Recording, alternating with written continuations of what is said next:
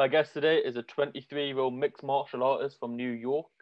Early in his professional career, with a record of three wins and two losses, two coming from split decisions, and he was previously ranked as number one in New York as an amateur in karate. Welcome, Harveer Singh.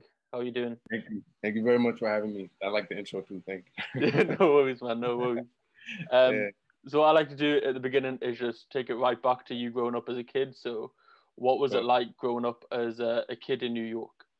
Well, um, is it cool if my daughter sits on my lap really quick?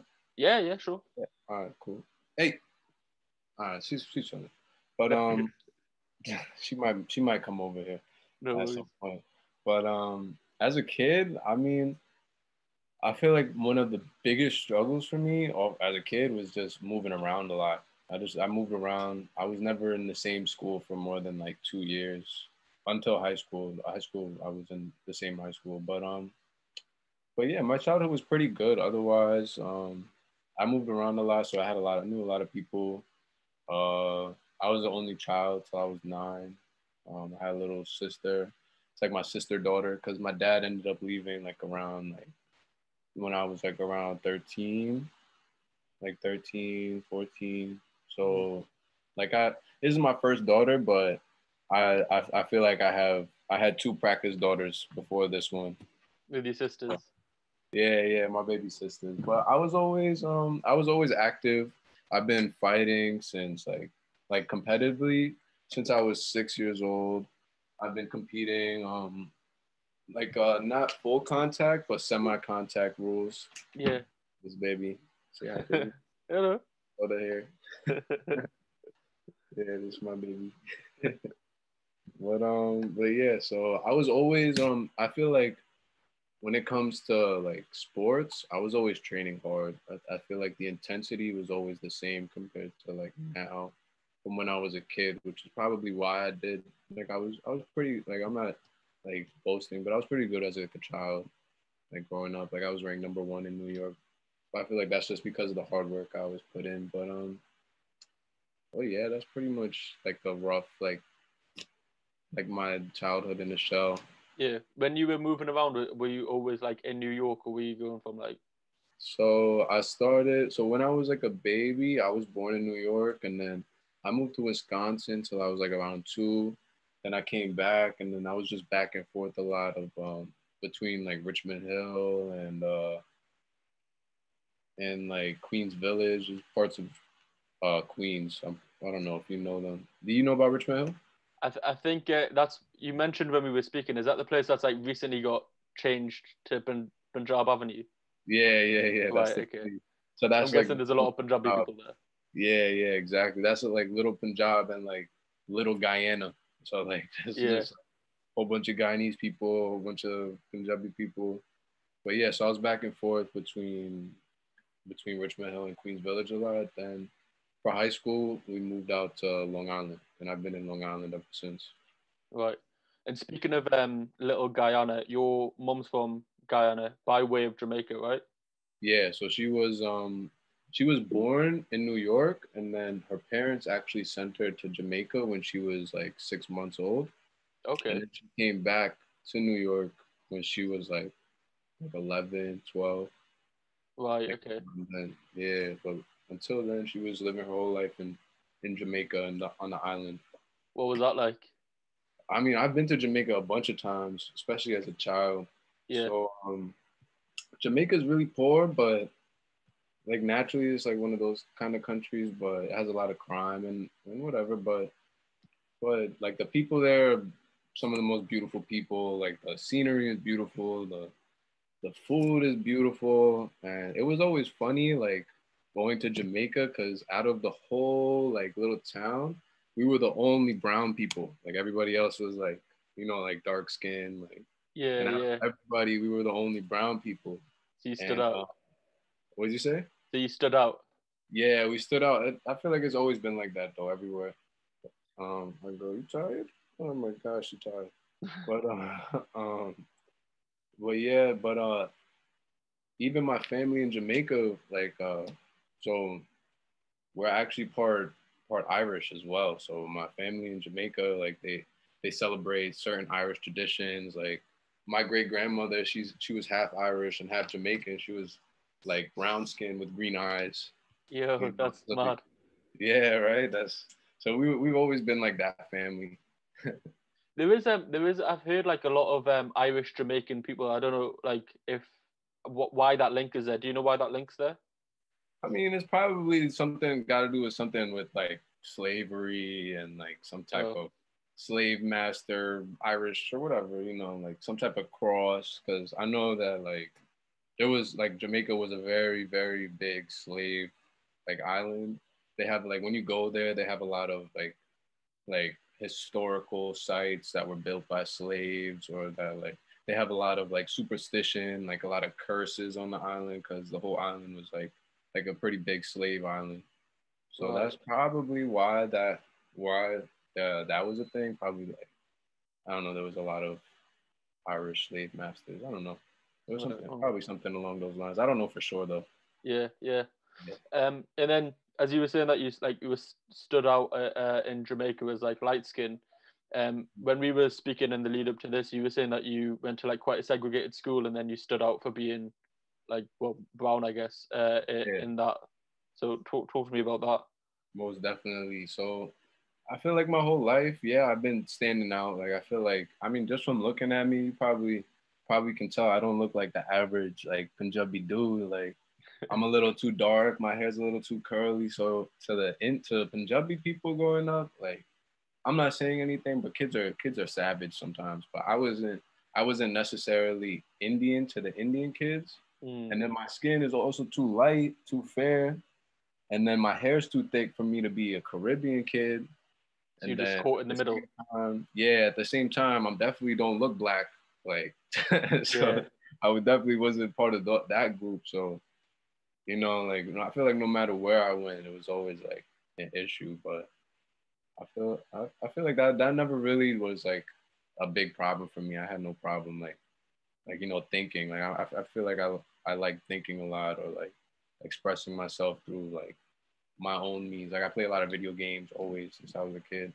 Yeah. But when yeah. I moved um when I moved over here to Long Island, I definitely felt it a lot more because uh, I don't know if you know about my area of Long Island. It's called Floral Park, and okay. right. Okay, so right, like let's say Floral Park is north, right? Like this is this is north, yeah. right? And then south is Elmont, right here, right? They border each other.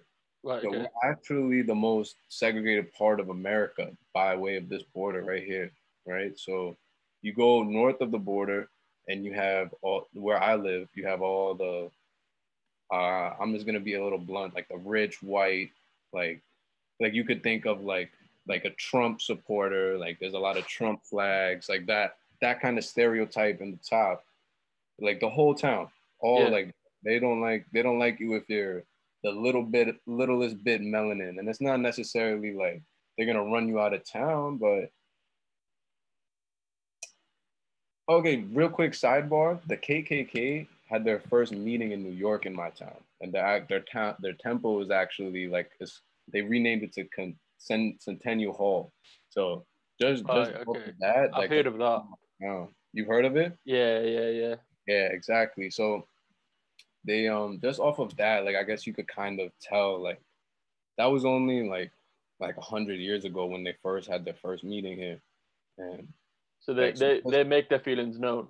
Basically. Yeah, exactly. And it's not necessarily like, oh yeah, we're KKK brother, like nothing like that. But it's like, like going to school, like you can see like a lot of times, like the like certain kids will have certain like mentalities that's not natural for a kid to have, and it's like like I know racism wasn't taught in my school, so you could only make the assumption that it's something that's taught at home. Because like yeah. when you come to school, you would see like literally like segregated like they would only be like white kids who only talk to other white kids or kids that looked white, fair skinned, like, and if anybody that was colored, like let's say myself, would try to come up to like a group or like whoever that was part of that stereo, the other stereotype, it would be like uh like it would be too awkward.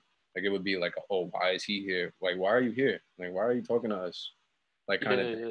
that kind of thing. And then like you would see it a lot of times. Like unfortunately, and like with the with the black kids in my school too, like they would just they would just do their own thing, live their life, whatever. And then a lot of times you would hear like a lot of like the white kids saying like, "Oh, why do you laugh like a monkey? Like, why are your oh, lips so big? Like, why do you why do you look like that? Like, you're so dark. Like, you know, like there's little things blatant like that. racism. Like blatant. Like you could tell like it's not necessarily saying like black is worse, but you could tell like that type of mentality is not natural. Like it clearly was like something like outside of school taught them that. Yeah, and, yeah, at home and, and stuff. That, that type of mentality is really common in Floral Park because I've been like again, I've grown up in a lot of places in New York, mm-hmm. like just New York period, like, and then even still, like I still go, I travel out east to Long Island. I, I'll go all throughout the boroughs. I'm a personal trainer, so I'm in a lot of the different boroughs a lot. But um, yeah, you don't really see it like how it is in Floral Park. Like again, like the border issue, the top is uh, the people that I've been explaining so far, and then the bottom would be like like the bottom is Hempstead is like the town. It's called Hempstead, yeah, but yeah. The, specifically the town is Elmont, and in that on that border, traveling like starting from Elmont and for the rest of like maybe like like 10 miles has like one of the highest rates of opioid related crimes in the country. Oh wow. You see, like that's just like a very big drastic difference. Big, and it, big change. Literally, yeah. like you could literally see the line. You can go up to the line like and see right where it turns from, oh yeah, there's little five-year-olds walking outside the school, or three-year-olds like walking with their other four-year-old friends where they can do that. Yeah. And when you cross the line, like there are no kids outside. Like there's like the part of Elmont that I'm right by is it used to be like the number one homicide rate in New York. Like, you know, and it, it's kind of spooky because like, how do these two things like exist, literally touching each other? But yeah, that's crazy. That yeah. is a, that's way, way, way close.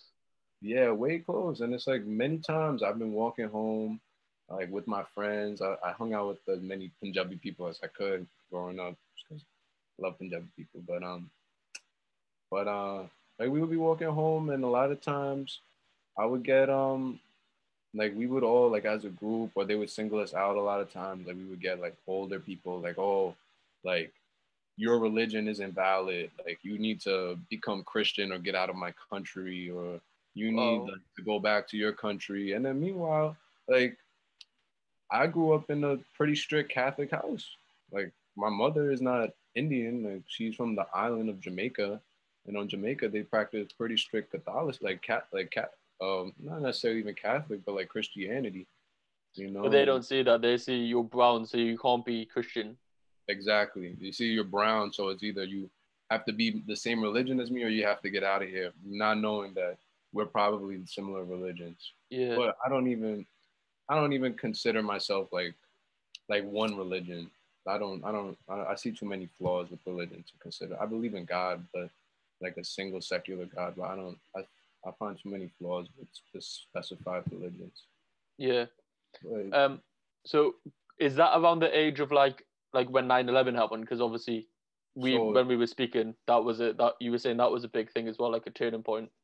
Yeah, so that was another thing. I remember 9/11 happened when I was in the second or first grade. So what's that like four four-ish, four years oldish? Yeah, around that. Yeah, around that. I was three, yeah, four, four or five. Um so yeah, I can distinctly remember after 9/11, I remember I was in the same school like for first, second, and third that was the, the longest time I was in elementary school was for first, second, and third. And I remember going into school the second year for second grade, the racist jokes went crazy. They were crazy. And, and then you like think like second graders really sh- shouldn't really know how to say like, oh, you fucking terrorist. Like you need to like you, you know, just the, the basic 9-11 jokes, whatever. And then I remember the first time I got into a fight was actually the year after 9/11. Uh, I I don't think it was like it wasn't anything like like racist out like outright racism, but I feel like there was a lot of tension afterwards because it was it was just a, like some random kid just came and attacked me. Like, like okay. we were outside playing ball. Like I feel I don't know. It wasn't blatant, blatantly anything. He didn't even tell me anything. Like he just came out and attacked me. Like, but me being the person I am, I beat him up, of course. But but um, I could I definitely know that I've experienced it many times. Like the 9/11 jokes, the racist jokes, the the turban jokes, the all of this, and in in New York, I feel like ignorance is high, so it's just natural out here. Yeah, I can imagine. Obviously, with it being like the place that it actually happened, like it's probably going to be the worst. I remember hearing stories, um, like growing up and stuff. Of I think there was a there was like a Indian guy, Punjabi guy who had a turban and he was getting on the subway to go to I think university or whatever, like over there. And mm. I think he got killed because people thought he was running into the the subway with like his mm. backpack full of books, but they thought it was like a bomb or something. Mm. Um, I remember hearing that. I'm not sure like um, how like truthful that was at the time because I just remember being a kid and it was like Mm-hmm. Like it was obviously we got it here as well, but I don't think it's nearly as bad. Yeah, most definitely. I, I think that I wouldn't find that hard to believe. One of my cousins, actually from my Punjabi side, he um he like uh I don't know the correct term for it, so excuse me. I'm not really as educated as like uh, someone who practices the religion like every day, but he he would go to Gurdwara and he would like sing and play the instruments, the harmonium and the tabla yeah. or whatever. And then one day he was outside, like he was walking, he was in front of a hospital and somebody came and they shot him in the head. No way. He survived, but thank God. But you know, like New York is very is very like ignorant. Like I think now during this corona thing, our homicides, our gun shooting has gone up 100% in just the boroughs. The, um, so I, am not too sure of this, so you'll probably have to correct me because uh, uh, obviously in the UK you can only he- hear so much about uh, America. But yeah. after the um, Black Lives Matter movement, isn't New York one of the places that got rid of the police with the like defund the police sort of thing? So the thing with New York, I, I'm pretty sure we passed a cut, like a budget cut of like something like a I don't know if it was a billion. I don't know if it was like a hundred million, something like that. But we cut the we cut a lot of funds from the police that we that, that came from like taxes and stuff. But um, I don't necessarily agree with that. I don't necessarily agree with that because these are the people that are protecting us at the end of the day. Like, they're the wrong people to get mad like that. Yeah, hundred percent. Do you think that it's got worse since that's happened? Uh, as in like yeah, overall most definitely, most definitely. Um, yeah, most definitely. I still can't believe your cousin got shot in the head. Yeah, that is ridiculous. Obviously, in the UK, he wore, he wore the pajama. Like you know, like he, he doesn't. He looks like the least threatening person ever. Yeah, yeah. You know, but that's just really that's just New York. People out here get shot over parking spots. You get shot because you not take you not giving up your parking spot to the next guy. Wow. You can't I can't like imagine that being like a reality over here. I think obviously we, we don't have guns here. So yeah, like da- down south in London and stuff, me being from Newcastle, um like down south in London, there is there is a lot of knife crime. Mm-hmm. But obviously it's still not guns. Like that's the level is just Yeah, it's very sad. It's very, very sad because people especially in New York, people lose their life for literally so let like like nothing. Like I don't know if you if you remember, but there was that 15 year old kid that that got killed outside the deli in the Bronx. His name was Junior, something like that. They have little children that children children shooting children out here. Like there's little kids shooting little kids. There's little kids shooting adults. There's adults shooting little kids. Like it's really a, it's really like it's crazy. It's really Especially crazy. for you, like as now like a father as well. That must be like sort of scary yeah, to raise your daughter in an environment like this. Definitely, like originally, like where my daughter's mother is from is is not a good place at all. Like you you'll find someone get shot every week, like every week someone gets shot. It's like I clearly I don't want my daughter living in that type of situation. Like just the fact that there's guns going off, you have to worry about a freaking like some gun just falling through the. I mean, some bullet just falling through the roof and hitting you. They have strays. Like people get hit by strays. Like it's crazy. Some things you gotta watch out for over in that neighborhood too is people pretend to be Verizon employees and they come knocking on your door, and if you don't answer, your your your house isn't marked. They're gonna they're gonna come and rob your house, like at some oh, later, okay. later date and time. Verizon being um like a, phone company, isn't it? Yeah, phone company. Right, okay. It's it's just crazy. New York is grimy. New York is grimy. That it, it's hard to wrap your head around when like obviously in, you, you're so far removed from that sort of situation. Um, yeah. go, going back to so you got in, you said you got into your first fight a year after 9-11, so you're probably around five. Yeah. And then you ended up getting into martial arts around six. Do you think that was like a, a direct correlation? Not for me, not for me, but I feel like maybe for my mother, especially the time being what it was back in the day, she probably herself has gotten a lot of 9/11 comments herself. Meanwhile, she's from the island of Jamaica, and she's half Guyanese, which is another island over there. But um, the main reason I really got into it, I can remember, was because, like, as a child, I always used to watch Bruce Lee DVDs. Like growing up in Queens, we weren't really we didn't really have money like that until we moved to Long Island, right? So before that in Queens, we didn't have that much money. Like everything I everything I watched was on VCR. Like it was all recorded tapes or whatever. So my uncles, they would send me um like Bruce Lee movies, and that's literally all I would have on repeat all day. I said, "Fuck the Disney."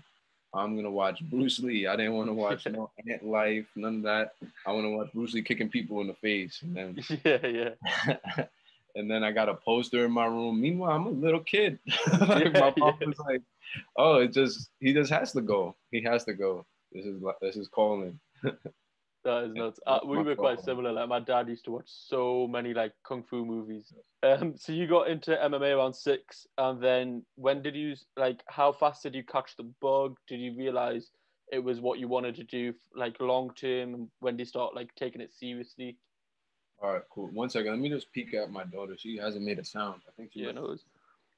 But um, so yeah, the bug I would say, um, for now, do you mean the bug for like competition, as in like full contact sports, or do you mean like just competing, like period?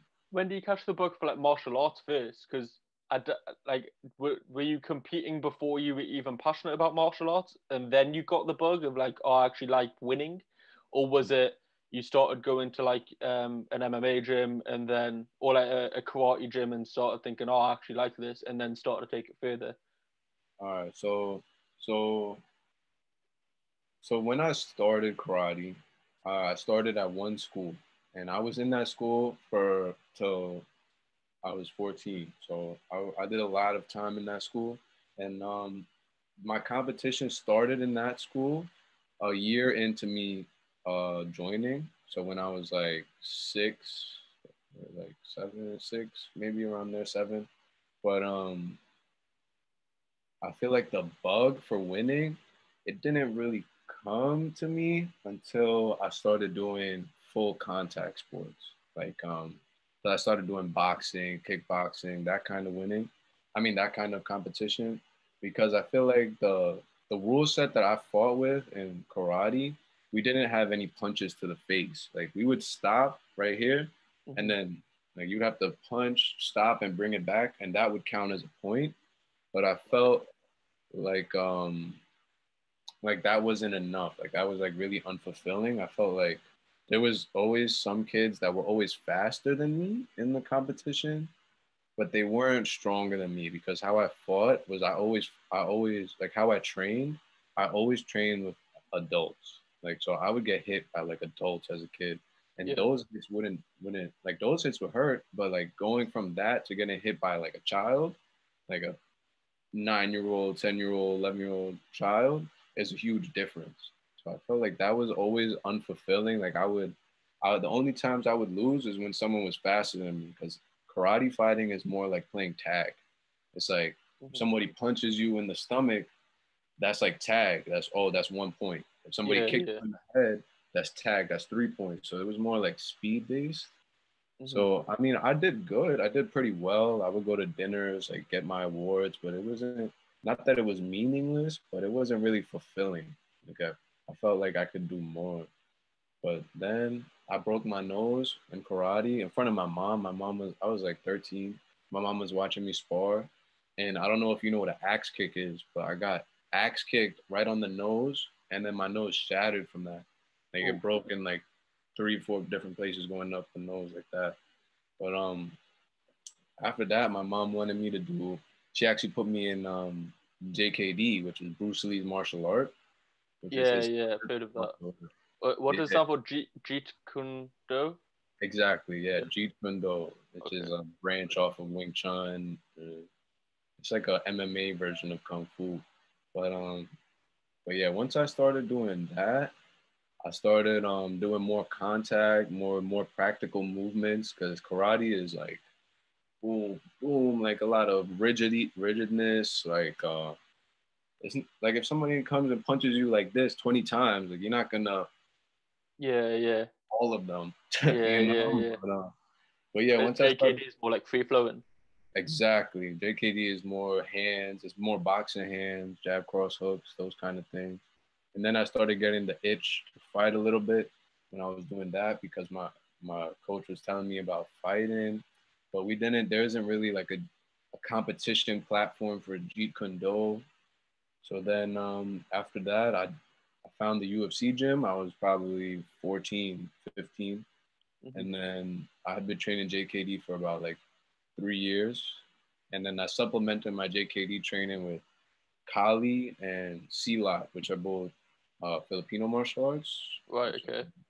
Kali is weapons fighting, a lot of weapons fighting. It's also hand fighting, but it's a lot of weapons fighting with like sticks and knives, like a curved knife. And then Silat is more so for like fighting multiple people at one time. So like oh. three, oh. two people, five people, whatever have you. And then so so um yeah, so I then I found UFC gym. I got with my with my trainer, Kru, Rodney. I owe everything to Kru Rodney. He's the one who started me on on Muay Thai. We had four fights. They were unofficial. Um, oh yeah, it's a funny story. My first fight, I actually uh, I went to um, this gym in Brooklyn. I was like 15, 16, and uh, the corner, like it's my corner, and then it's their corner, right? Like that's how you start in the fight. Yeah, yeah, yeah. Come out the corner, and, and in your corner are your coaches. Mm-hmm. And I remember the whole fight, the other dude's cornermen, they were yelling, "Oh, kill that Hindu, kill that Hindu." No way. Like, bro, I'm not even what. it's, it's still occurring even in a fight, but surely yeah, like that, that like uh, defeats the purpose of having like so yeah of doing anything kid related like sport like that. Exactly, you would think that martial arts because all you like what obviously you do see the sort of like um the flamboyantness and the sort of digs at each other in like press conferences, but everybody knows that afterwards you shake each other's hands. Exactly. And it's, a, it's a respectful sport. But yeah. that is like that's one of them lines that you shouldn't really cross.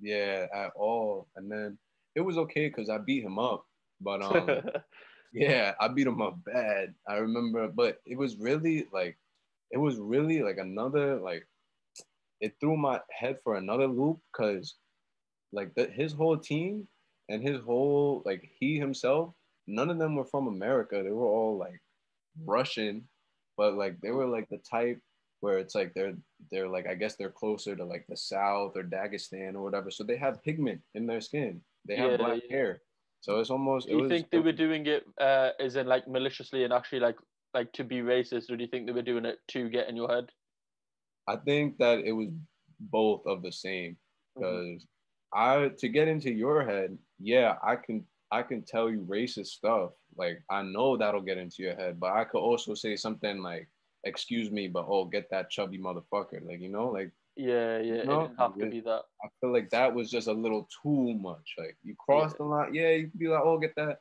skinny toothpick motherfucker," but oh, get that Hindu motherfucker. Like you know yeah. that don't get me wrong. I'm not trying to excuse it. I'm just trying to like understand why they would possibly do it. Oh, of course. And either way, it's too far. That's the thing with fighting. It's a lot of people they take it too seriously. Like they take it like like more than for what it really is. And when you're making it a sport, it, it's a sport. It's not, yeah, like sure, people fight each other that are angry at each other, but like a lot of the times people bring animosity into fighting that doesn't need to be there. Like sell tickets is one thing, but but like mocking and doing all that other stuff, that's unnecessary. I mean, it comes. I've been mocked plenty of times. I've been called every name in the book, but like that, it, it just wasn't necessary there. But I ended up beating him up so bad, and then his we we fought in his gym, so his judge it was his judges, and they all gave him the decision. But the crowd, the crowd that was watching the fight, all of them were chanting Harveer Singh one, and then two. Like they had to carry him out the ring. I was I was walking out the ring. They had to oh, carry wow. that dude out the ring. And they still gave him the decision. Yeah, right. yeah, right. You, you do hear about like obviously corruption and stuff, but that's like surely you're taking out uh-huh. the judges' hands by that point. New York is one of the most corrupt places too, and just anything you do in fighting, especially because like uh, the judges they don't really care. They just I mean it was in his gym too, but uh, in a lot of New York fighting when it comes to boxing, kickboxing, like stuff that requires judges to do points, a lot of the times they'll just go for whoever like sells the most tickets because that's who made the most money, or they'll go for whoever they like the best, or you know. Yeah, yeah. Um, what about like uh, like the steroid side of things? Because I've heard that um New York's quite bad for that sort of thing. Like I follow boxing like religiously, sort of thing, mm-hmm. and um, a couple of years back was meant to be Big Baby Miller. I don't know if you've. Ah, uh, I know him. Oh, do you? Know him. Yeah. Okay, I'm not gonna say too much then. I'll not say too no, much. No, you good. No, you good. I'm pointing at him if he's watching this. Maybe oh. he's probably watching it, but yeah, I know him. I trained with him a little before his Cro Cop fight. Oh, really? Yeah, yeah, yeah. He used okay. to train and with my with my team because back in the day, my team was crazy, and I always trained with the crazy adults. Like I always trained with adults. I was that little kid. I was in there. So a lot of people came to train with us. Like Uriah Hall came there, Big Baby came there. I don't know if you follow like kickboxing, but um, what's his name? Uh, he's in Glory. Oh, Wayne Barrett trained out of there. Um, Asa Ten Pow came there. Mad people used to come there to get training with us because we were just sharks.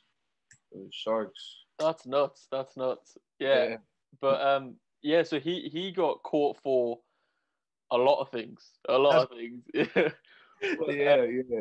So like, is that is that common in in combat sports then, like in America? Because over oh, here we have like UKAD, uh, which is a UK UK anti doping, um, mm. and they're like they're really strict.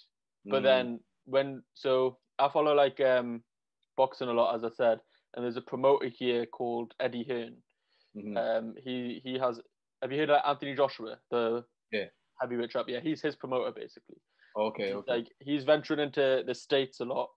Um, he's actually got a show on tonight or tomorrow night. Devin Haney. I don't know if you know who he is. I know Devin Haney. Yeah, yeah. So, um, but he's like back and forward between the states and here, and he's like he always says that it's a lot worse for doping in the states than it is like over here. So I don't know like how common it is. And then obviously Miller happens, and he's got like four or five different substances in him um, and he gets. I didn't even know about that. I didn't even know about that. But um, I feel like as far as the the, the doping, man, I think it would be it would be rare to find the person who's a coach like myself or a trainer mm-hmm. like myself that hasn't seen somebody shoot up or take some type of pills like it, as far as like uh, steroids kind of shooting up like in their butt or taking some pills in in the locker room or someone trying to like convince someone else or I, like men and women too. I, I know women personally who take steroids. I know men personally who take steroids. I know fighters who take steroids. Like, I don't take steroids. No, put that out there. I don't take steroids. I just I just eat swell. I fast a lot. A lot of people ask me how I get like the type of physique that I get. I fast a lot, which is very important, especially for building muscle. But yeah, steroids. Like the, there's a lot of fighters that do steroids, but the thing is, for amateur fighting, I don't know how it is in the UK, mm-hmm. but for amateur fighting, they don't test you for any drugs. So at all. Take, at all, you can take every drug ever, and you will not get still be able to fight when it comes down to fight night. You what? could take the drugs before you before like two days before you fight. You could take the drugs on you when you're going to weigh-ins. You could take the drugs after the fight. They don't do no pre-fight, no post-fight, nothing. So you may very well, most more likely than not, especially if you climb in the ranks, you're gonna fight someone who has is on steroids, and it's something I've done. Like not necessarily in the ring, but I've been to so many gyms. Like I've seen, I've seen people on steroids. Like I know you can like, it's steroids are so common. There's a there's a way to discern who is on steroids and who is not, and not simply off of oh he has muscle. Is more so oh you I punched him in the face and usually that punch rocks the shit out of someone. But he turned his head and he looked at me like the Terminator and he bit down and he went forward. And his muscles, the muscles, like they get cut. They get cut up. They're swollen, cut. Like you, you could see the look in their eyes. They're like the Terminator. Nothing is putting them down unless it's like some some real heavy shot. And it's That's literally crazy. So does that not like does that not um is that not like a cause for concern for yourself? Because if you're not taking steroids and you are going into the ring with someone who is, and you're mm. hitting them with your best shots for like how how uh, how long are Muay Thai fights? Is it, is it like twelve rounds as well, or is it? No, no. So depending on the rule set, it it's um three rounds. It could go up to five. It could be four, but um usually it's two minutes for amateurs and three minutes for pros per round. So like you you're just imagine you're in a fight and you're just absolutely obliterating this guy for four rounds. And then in the fifth round, any normal person would have been on the floor on the canvas, fight over. But in the fifth round, you're tiring out because he's juiced up to his eyeballs, and then he mm-hmm. comes back and hits you with like a fatal shot or something that just mm-hmm. ends the fight. Is that not like a scary situation for you to be in, or like a cause for concern? Absolutely. It is definitely a scary situation.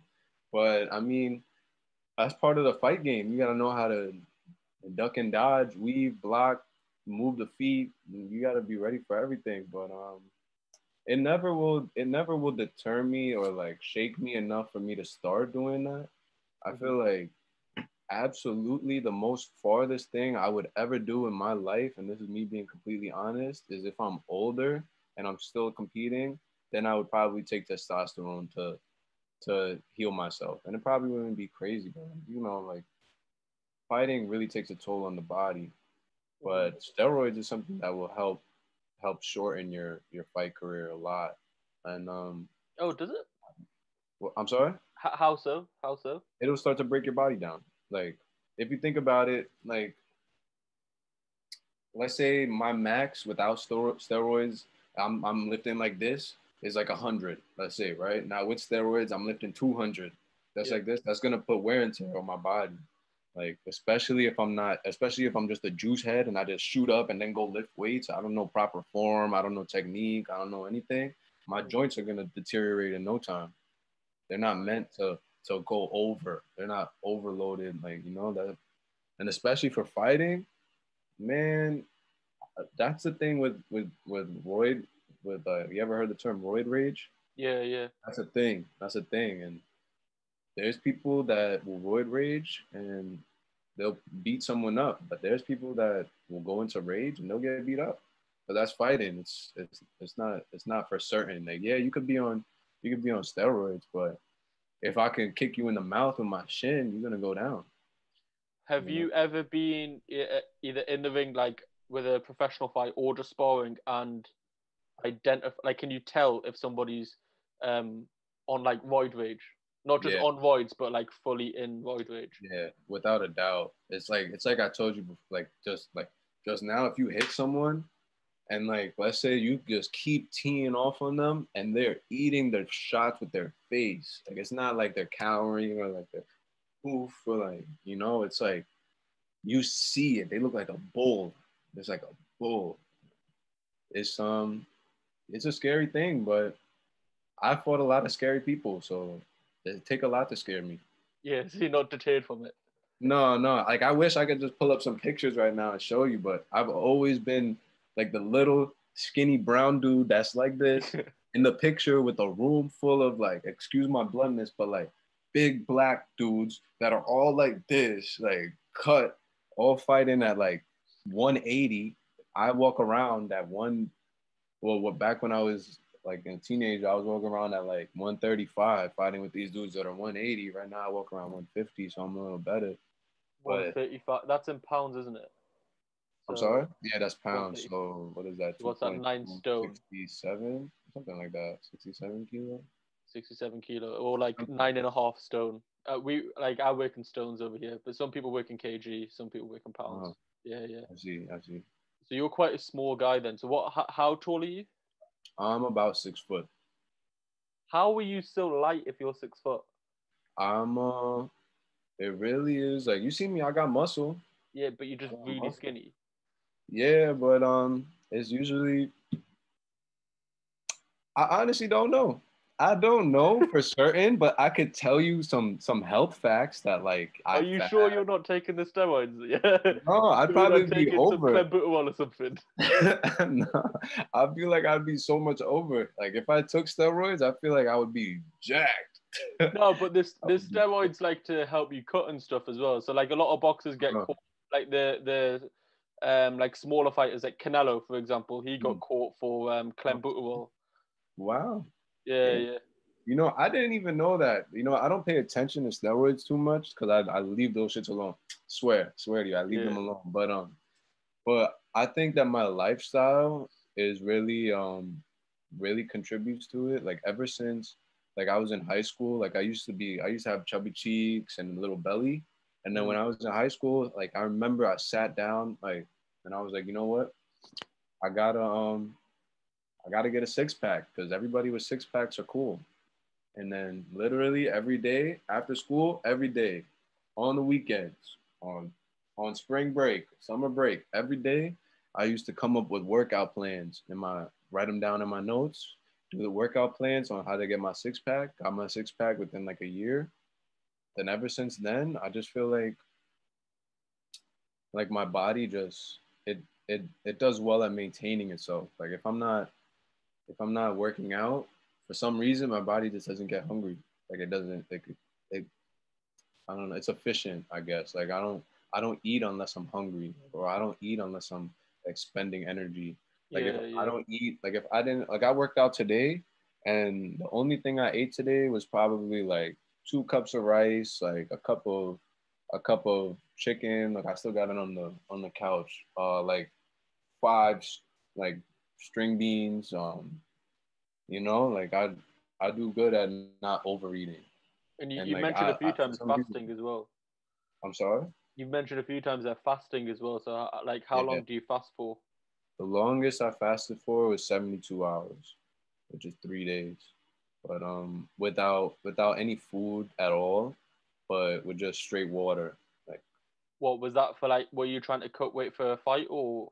No, I feel like I I fast personally because it's like now I'm not like religious, like I practice one religion, but I feel like it does help to get you closer to God through fasting. And I feel like fasting has so many health benefits. Like you can increase your muscle mass if you fast. Like after 48 hours of fasting, your your growth hormone and testosterone uh, increases by five times. Oh, so, really? yeah. So if you if you do if you see that's the thing, it's a science though. I'm not just like ah fucking I'm not gonna eat. Like like I do it like I'll eat certain things before I fast. I eat certain things after I fast. Certain shakes like I I take a lot of sea moss. I don't know if you know what sea moss is. No, no. It's uh it has a whole bunch of nutrients and shit. It doesn't taste like anything, but I put it in like a shake. But so this way I make sure that my body has all of the essentials that I need and anything else like like i don't like i don't need to be eating three meals a day like i i probably haven't had a three meal a day day for the last like three years probably yeah. You would think it's like the opposite like if you're fasting for that long that your body stops producing uh, um, testosterone and and things like that but it's interesting right? Yeah yeah it's like it's like the reverse effect sort of thing. If you if you think about it like this it's like well, one, it's a fact that we use about 75% of the food, of the energy from the food that we eat to break down all the food that we're eating in the day.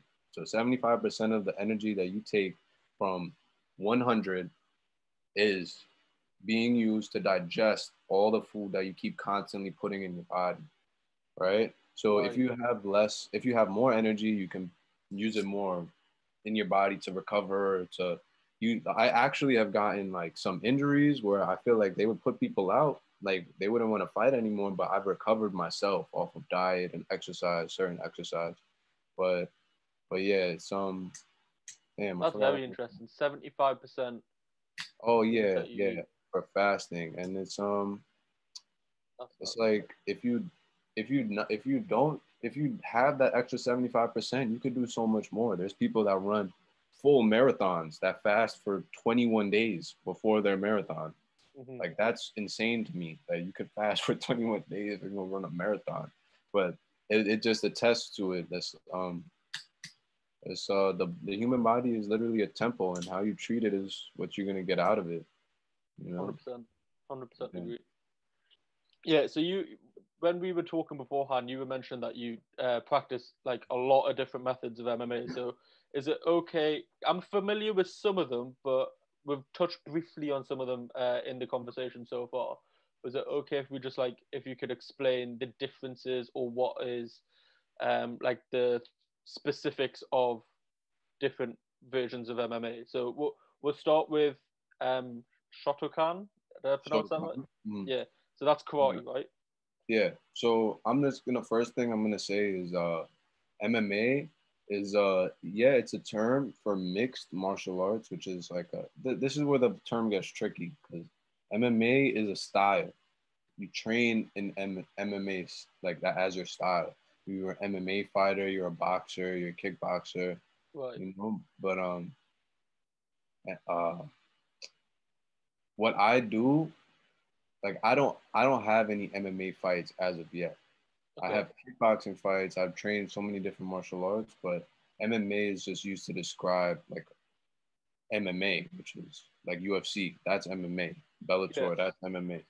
Right. So so Shotokan, Shotokan. That um, what that was is well, I did it for a lot of years, and um, it's a lot of self defense. What it was first started for was self defense and uh, in feudal Japan when they were when they were getting like uh, I don't know if they were like ruled by the Chinese or the Chinese just felt like like in, imperializing. I don't know what the Chinese were doing, but they basically they had they had problems with the Chinese and they took the Chinese style kung fu made made Shotokan. So Shotokan is a lot of kung fu like movements. A lot of it is is not practical. A lot of it was made for like someone that has a sword. Not often am I gonna fight someone with a sword. You know, yeah. a lot of it is impractical in that you have to fold up before you execute a block, whereas boxing is just yeah. you know slaps. But I would say the mentality behind Shotokan is what is most key it teaches you how to how to be strong minded and how to have like an iron body. And that comes from kung fu, the iron body training. Like you take you can take hits on the arms, the legs, the shoulders, whatever. So a lot of my success I would attribute to Shotokan because it, it, it set me up by giving me a proper mentality to go about like in in my combat sports career so far right and also in life like it, like the part of the reason I can fast for three days straight is because when I was like eight years old, I had like grown men like punching me in the stomach till I threw up. Like fasting, hunger pains is nothing compared to being punched in the stomach till you throw up like that. That yeah. that's what really hurts. But but yeah, I feel like that's the real that's the real takeaway from Shotokan. People, some people like to say Shotokan is not is not a good is not a like a proper martial art to train, but you have everything is what you take it for. Like Bruce Lee told you, to, said, take what works for you and discard what doesn't. And every style has certain things like that. So yeah, Shotokan is more so like a like a mental training kind of thing. It's it's a good it's for anyone that that that watches this that's interested in like fighting. I would I would recommend Shotokan as a good supplement but there's a lot of McDojos or like fake schools that teach like uh short versions or like short-handed ways to do karate and help you get your black belt in the slowest in the fastest amount of time possible right. when it actually should take you at at minimum eight years to get your black belt i think that's what it, what it is in, in japan right but then they just fast track it in some of the dodgy gyms exactly it's all for the money right um and then so so basically that's like for mental fortitude and like gaining like a solid body so you you're used to getting hit mm-hmm. Okay, that seems like it would be quite um, helpful in every type of martial art, though. Mm-hmm. Even in life, and like pretty much well, yeah. aspects in life. Yeah, definitely. Um, what about uh, judo? Because like I hear about judo a lot. It's in the Olympics and all that stuff, but I don't actually know like the what makes judo different from anything else. Basically. Mm. So the reason I took judo was for a specific reason was because in my karate school, which which also taught judo, was if you wanted to learn the the cool stuff or like the most deadly stuff or the stuff that you're gonna flip someone and they're gonna fall on their head stuff, you have to know how to fall. And judo like teaches you how to fall properly without hurting yourself. Like especially if you're on concrete, it teaches you safe ways to fall, how to break your fall, and what have you. So that's why I started taking judo. I wanted to compete in judo, but because a lot of what judo is is um so in competition is literally who can throw who or who could get the other person on the ground or on their knees first. But uh so I like that aspect of it, but it's um it's very interesting to learn. Um I'm like a super martial arts nerd, right? So so I'm just a super nerd. I'm just gonna say that before I tell you this. But um so in certain styles, there's called there's jitsu, right? Like you have jujitsu, yeah, genjutsu, ninjutsu, right? And then certain styles, you have do, karate do, judo, uh, so and whatever the rest of the dos are. They have so many, right? So the difference between the jitsus and the dos are jitsus are a way of attack. So jujitsu is how can I attack this person in a way that is going to make them tap out or whatever, right? That's it. It's tech, tech, tech, tech, tech. Yeah. And then do right? being defense. Yeah, dude, do not necessarily defense. What do means, because the literal translation of jitsu is attack. The literal translation of do is a way of life, right? So, oh, okay. But that, like, so, so why why I I I enjoyed do martial arts is because, have you ever heard of like, like the word Zen or like yeah, yeah, like, yeah. like people can, like let's say, like archers have a zen, like they get into a certain headspace where you can have creative ideas, you can learn things, learn lessons from. Like you can learn a lot from somebody that's half your size, literally in height and weight, can just walk up to you and throw you over their shoulder and you tumble two times and fall down on the ground. You can learn a lot from things like that.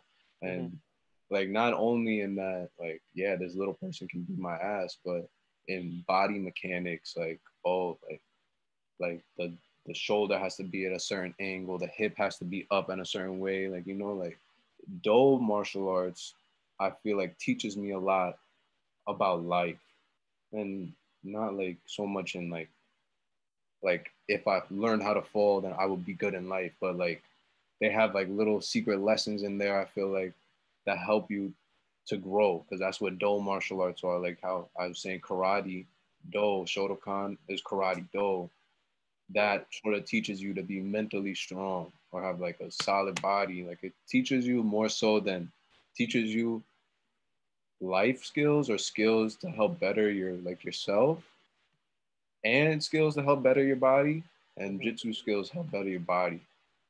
Like okay yeah yeah, yeah i get you. Judo judo i enjoyed that a lot because it teaches you how to be gentle. It teaches you how to be gentle while remaining at the same time being able to throw someone on their freaking neck. You yeah, know? Yeah. you have to be gentle to do that. And that, just that concept doesn't make sense. Yeah you, you would think you like have to that. be aggressive to do that. Exactly exactly. But the best judo the best judo like black belts and red belts all like the old little short japanese dudes i'm not trying to be racist that like have been doing this for like 70 years. Like if you ever see them spar with their with their six foot, like 250, 300 pound judo black belts, like you would think like it looks like almost as if they could hold a flower in between the teeth the whole time and still do it without damaging the flower. You yeah, know, and that's just amazing. Control. Exactly. That's just amazing that someone like that could just have their way with someone and yeah. keep a rose still like that in their mouth, you know? So do you think going back to you, you mentioned how um you're not big as in like frame wise, like stature wise. Do you think yeah. that's helped you in learning things this intricate because then you're not um overpowering people. So if you you need to learn a technique in like judo, like a uh, is is like a hip toss judo? Yeah, that that that's something that's in judo. Yeah, like sweeps and hip tosses and things like that. Like so, instead of you being this really built guy and you can just do it just from sheer muscle power, do you mm. think that your size has helped you um, learn techniques better because you can't rely on sheer power? So that's a that's like a double edged sword. So it's like I can be slim and I can be strong. Like sort of like I would say my stature is closer to like what Bruce Lee's is, where he's small but he's muscularly solid. Like mm-hmm. yeah, you can be fast. You can you can have strength only so far, but when it comes to like grappling, I'm gonna get I'd be more likely to get my arm broke because my arm is so long. Like my reach is like the equivalence of like six foot five. What is that like 77 inches? Yeah, yeah. You know, like so my arm is a liability when I'm doing grappling.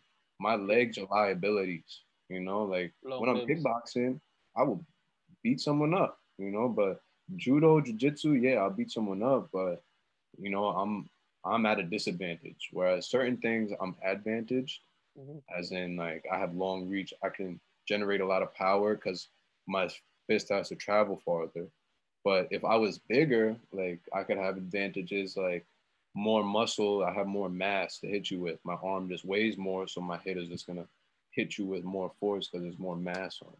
Yeah, yeah. But I feel like with, with your body type, that's how you have to structure yourself. So the way that I like to like to fight or spar is I'm more of a technical fighter, and I like to work angles. I like to pick my shots. Like sometimes I'll be very hype, hype, hype, hype, hype, throw a lot, throw a lot, throw a lot. Then sometimes I'll sit back, pick my shots, throw one, blah, blah, blah, move, throw a couple, move, you know, because it's the type of person I am is um I'm not big, so I can't really take shots like that. Like, like yeah, I could take a leg kick, but it's gonna hurt.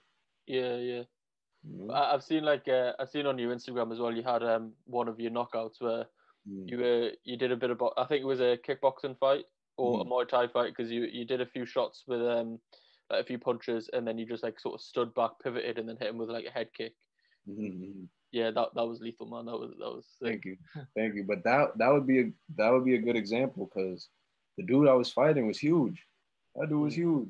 He had a whole lot of muscle. He he walks around at 180 pounds. I walk around at 155 pounds. Like that dude was huge compared to did me. he did he have to come down to your yeah. weight and then yeah. what like rehydrate and then he like gets back exactly. Oh, okay, okay. Yeah. So basically, the day before we meet at a certain weight, we meet there, and then we fight the next day. So that gives him time to hydrate. Yeah, both yeah, of us time to hydrate, eat food, and yada yada. But what yeah, um, one, what weight class like do you normally meet at? So like, when I first, all right. So when I first started, like before I started getting my official fights, I was fighting at 135. I would cut down from 138 because I walk around 138. I would fight on 135. Um, then after I went, uh, like to my when I stopped doing my underground fights, like uh, excuse me, um, I did I fought at like 145, which is and I used to walk around most like 149. Mm-hmm. I'm sorry, and then um, now I walk around at like 155 when I'm when I'm training. When I'm not training, I walk around 160, like 165. But when I'm training, I walk around 155 and I fight. I probably fight like my next fight probably would be at 150, maybe 155. I don't like to cut weight a lot. Yeah. I like to be I like to be as close to normal as possible.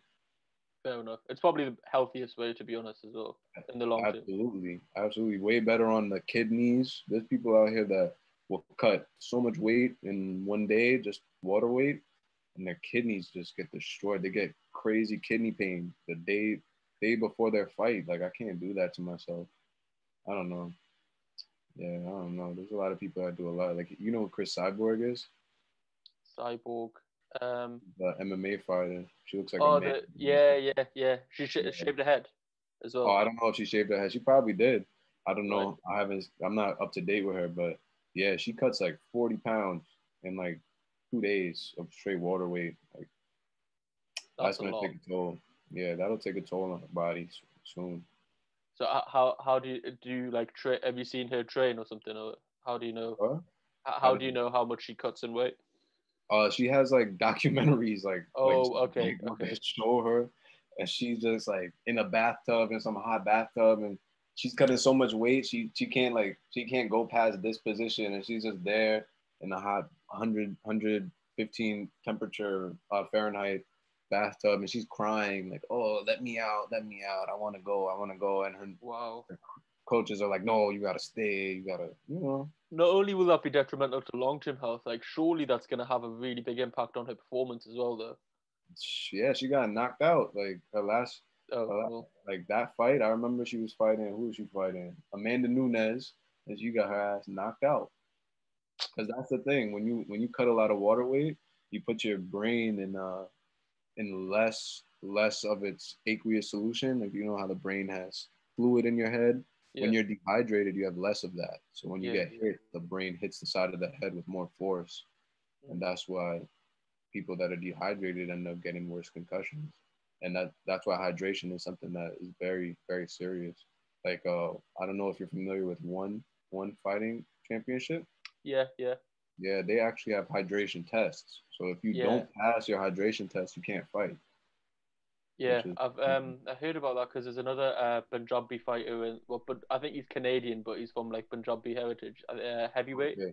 Yeah, I know what you're talking about. Arjan. That's the one. Lar, yeah, like yeah, that. that's the one. That's the one. I think he had a fight in the UFC, but I'm not sure if he like he won it or not. I, I I've seen him with one championship. Yeah, he won. Sure I know he won one fight. I know he won one fight. I actually inboxed him too. I okay. he, he replied to my inbox. Uh, I appreciated that. oh, sick, sick. Yeah. I'm pretty sure one championship's got a, a, big presence in India now as well. Yeah, they're they're that's the money league. That's what if I could choose over UFC and one, I'll go to one. Oh, really? Hell yeah. That's where all that's where you're getting all the money. I think UFC, you're lucky if you get forty thousand dollars to win your fight to win it. You lose it, I think you get ten thousand dollars to go up there in a professional fight. And sometimes you get cut open, sometimes you get break your leg, all that for ten thousand dollars.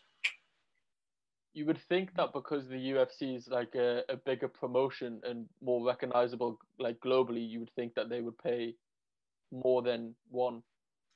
You would think, but UFC fighters don't even have medical benefits. They have some medical benefits, Actually, I think they just got some medical benefits, but it took very long to get medical benefits in a in a job that you know requires your body so, to be so physically demanding, and you have to literally like stand in front of someone who has the objective of of hurting you and putting you in pain. Is it? Do you think it's like more if you're, um, how do I phrase this? Not I, I don't want to say average, but if you're not a superstar, do you think it's beneficial to go to one? But if you are the the Conor McGregor, the Khabib, the Jon Jones, it's mm. probably more beneficial to be with UFC because they could demand so much more than say like the heavyweight champion of one championship. I see that. I see that.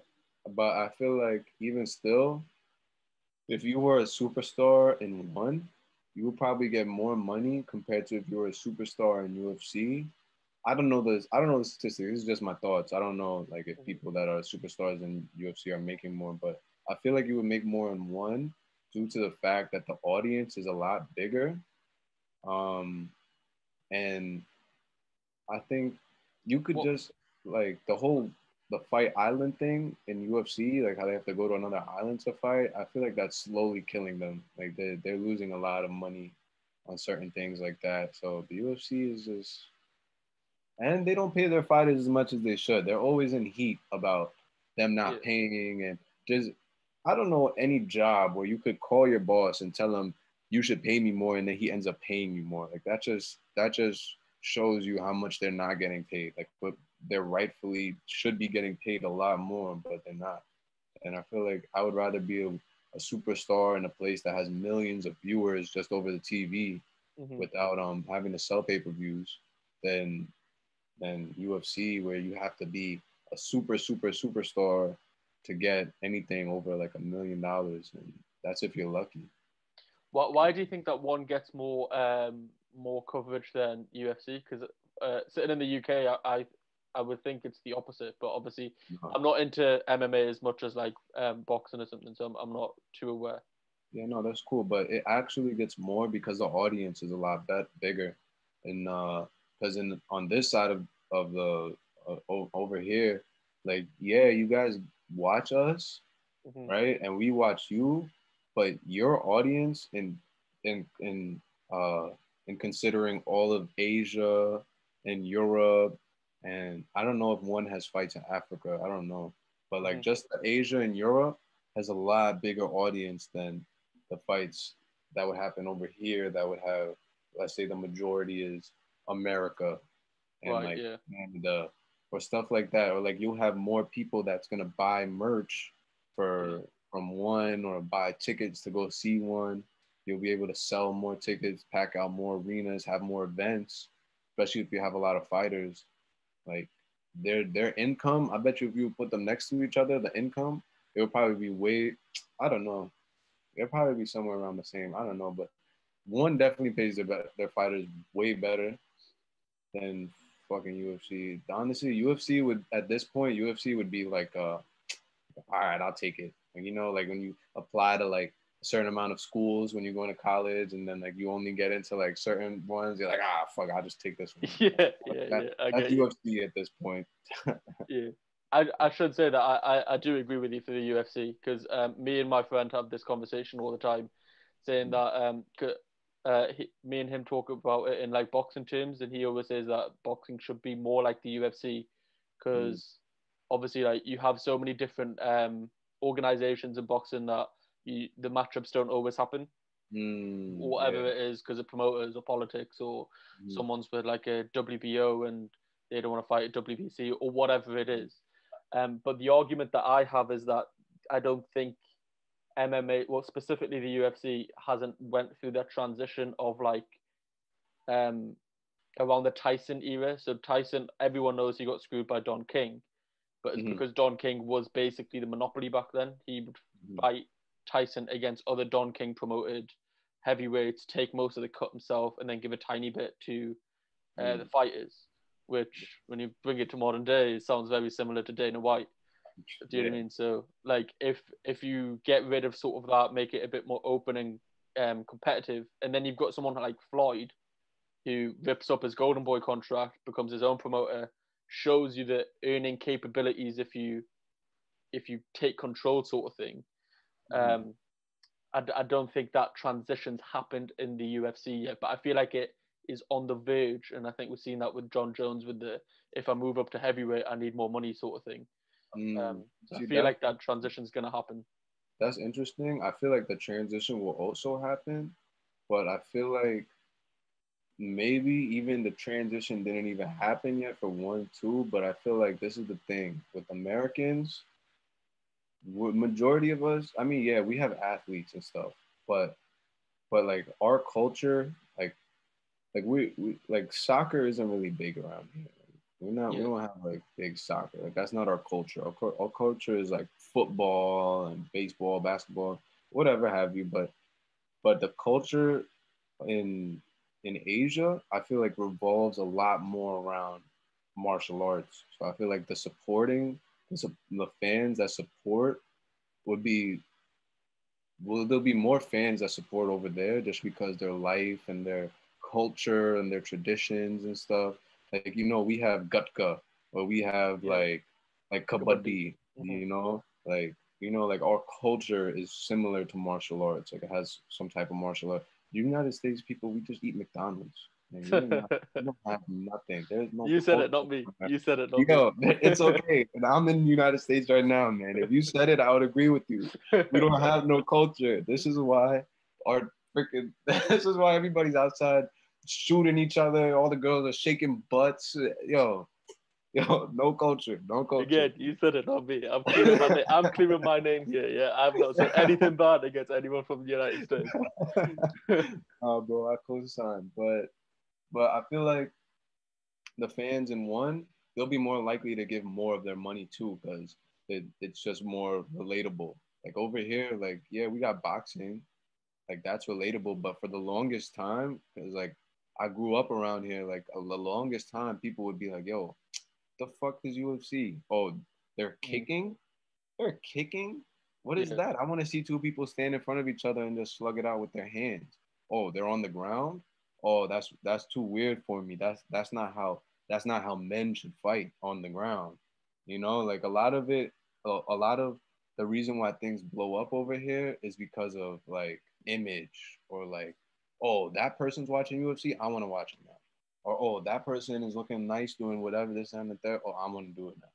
You know yeah, what I'm saying? Yeah. Like our boom might happen, but it probably won't happen in the same way as a boom would happen in Asia. Yeah, know? I get you. I get you. And one's probably more uh, better positioned for that boom to happen. Mm-hmm. Right. Mm-hmm. Yeah, I understand. Um, so going through some of your more uh, some more of the MMA practice. Um, I shouldn't say MMA practices because you said that's not the right terminology. But yeah. um, so boxing and kickboxing, you you you've learned both of them as well. Yeah. And I feel like that's quite easy to sort of explain. Boxing, obviously, yeah, yeah, with your hands, and then kickboxing, just adding kicks. Yeah. Um, and then what is it? So the difference, as I understand it, between kickboxing and Muay Thai is basically the addition of elbows and clinching. Okay. It see this is where it gets sticky because there's there's three main rule sets in in in stand up fighting, right? Like we call it like stand up fighting just to encompass kickboxing, Muay Thai, and all the stand ups, right? Mm-hmm. So there's there's Muay Thai rules, which is like the actual name for it, Muay Thai rules, yeah. where you can do elbows, you have unlimited clinch, and mm-hmm. you can do knees. Then there's glory rules where it's um it's a limited clinch where it will either be like one second clinch, five second clinch, or you're only allowed to take one step in the clinch. Like you can clinch, take one step, throw something, but you can't. You have to let go. Is glory no. um, a promotion? Yeah, glory is also a promotion. Okay. There's okay. also a promotion. They have their own rule set called glory rules. Right. Right. So, but so, from the sounds of it, that's basically just to make it more entertaining, so that people aren't in the clinch yep. long. Okay. Mix up the action, you see, and um, and then K1 would be like super action where it's no no elbows, no clinching at all. It's just punches and kicks, and you guys have to stand in front of each other and punch and kick each other all day. So that sounds just like normal kickboxing, basically. Yeah, basically. Okay. That's the okay. three. That's the three. Like there might be other rule sets, but as far as I've gone and all I've competed in, those are the three biggest rule sets. Right. Okay. Um, and then you've also um, done a, a, bit of wrestling when you were younger as well, but yeah, yeah, yeah. You, why you sort of didn't pursue that? Yeah, so I caught um I caught a skin disease uh, from wrestling, which is big in wrestling. It's not uncommon. The whole team broke out with it. It's called impetigo, and I I had it on the back of my neck. So what it is is when somebody doesn't clean their wrestling shoes and steps on the wrestling mat, and then you have all these sweaty kids rolling around with bacteria and stuff, and then they get sweat on each other. Like I think like 23 of us broke out with impetigo. Some people had it in their beards, in their all in their hair. Like you can't shave, you can't cut your hair, you know. So after I got that, it was more so my mom was just like, "That's a dub. You can't you can't do that." Was that you know, a, a, young age? What uh, what age? Yeah, was that was in high school. I was probably in like 10th grade, 11th grade. But yo, I love wrestling. Wrestling gave me a good foundation to help to help me with my jits. And the some one thing I try to do is I try to learn and like similar to what Bruce Lee said, I try to take what I what I know works for me and discard what I know doesn't work for me. So like mm-hmm. stuff I've learned in, in wrestling has helped me to tap out people that have been doing jits for years, and I've never really actually. I've maybe taken like ten jujitsu classes, like real life jujitsu classes, but I can still like tap out certain people just based off of prior knowledge or just just willpower, really. Yeah. Um, and then I think you briefly mentioned it before, but um, what what so what's Silat and Sila. Sila and uh, what's the other one? Filipino Kali. Kali, yeah, Kali is some people call it Eskrima, but basically there's like there's like 200 100 styles of each there's like 100 styles of kali there's like 100 styles of like sila there's probably like 500 in reality but but the reason why is like it's like yoga. Like there's a lot of styles of yoga. Some of them are complete bullshit. And it's like they're just for people who want money and they're trying to like draw you in give me money give me money. Yeah yeah yeah.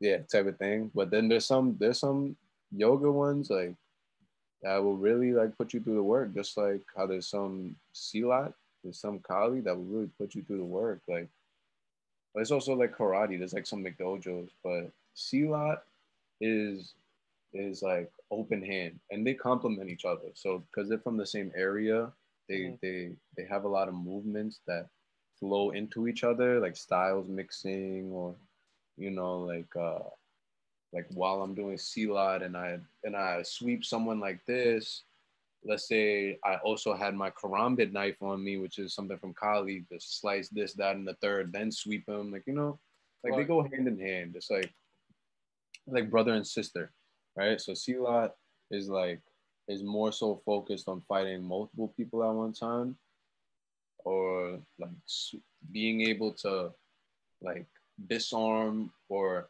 um what's the word? Um basically um, neutralize. Neutralize thank you. Neutralize one target while you're still in a position to be able to neutralize the next or deal with the next person right? So that's more like what Silat is like. I'll someone someone's coming to attack me. I'll do whatever whatever sweep them. Now they're on the floor, and then Silat would be I hold them in a hold that like with my legs while my hands are still good and active and ready, and then wait for the next person to come handle that.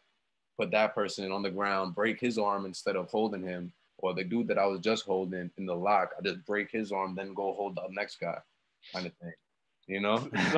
So, so very complex. I, I just imagine in my head like uh like have you ever watched that movie Ong-Bak yeah.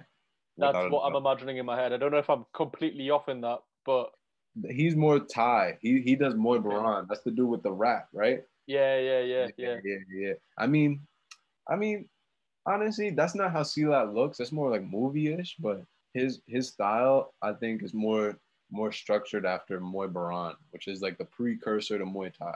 It's like right. Muay Thai came from Muay Boran. Okay, okay. Right? So I'm way off what I'm imagining. It's all right. They all from like they're from that general. I don't want to sound ignorant. I don't want to sound ignorant, but so that area of the world. Yeah, that area yeah, of the world. Yeah, yeah, we'll cover it.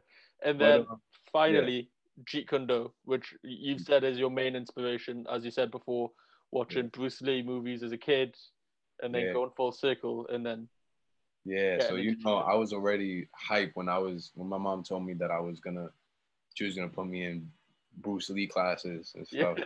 but um but yeah that's another thing where it's, it's it's tricky you could find people that are not good at what they do or they just interested in your money or you find people that know what they do and i was fortunate that wherever i trained well i feel like i had a good eye for it so I would I, I knew where to go and I knew where not to go. But wherever I trained my my instructors and my coaches, my Sifus, my my Krus, everyone, they, they were always knowledgeable, very knowledgeable, and they knew what they were doing, thankfully. So um so yeah, I don't know. They have um the Jeet Kune Do scene is very it's not small, but the main like the top instructors in the world are known, right? So my style of JKD came from Sifu Cass Magda, right? So they have all these different love, like different Sifus that have their own style of JKD. Where this guy does does it this way, and he trains this this stuff over the other stuff, like you know, mm-hmm. like style based. So my style came from Cass Magda, and um, you know, uh, it was. It's not that like it's. I don't know about eye opening, but it teaches you a lot, and it puts like. It it it renders a lot of things. Mm,